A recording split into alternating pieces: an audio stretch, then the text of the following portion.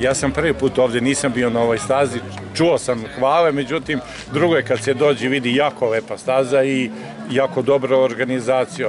Imamo sreći, lepo vreme, sve to ide u prilog da takmičenje budu uspešno. Imamo mlađe kadete, mlađe kadetkinje, juniorke, juniore, seniore i veterani. Ima tu još dosta trka, još nekih šest trka ima, pa će biti veoma zanimljivo. Sad ovi sledeći voze onaj veliki krug, teški krug, to su oni već međunarodni profesionalci i tu će biti dosta zanimljivo. Smo videli neke, koliko sam vidio, Beloruse ili Ruse ovde da nastupe na takmičenju.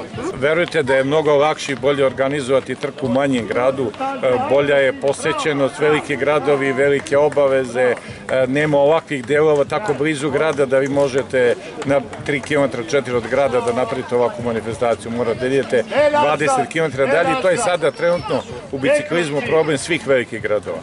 Najbolji biciklisti su iz malih gradova. Što je manja sredina, to su biciklisti bolji i uspešniji.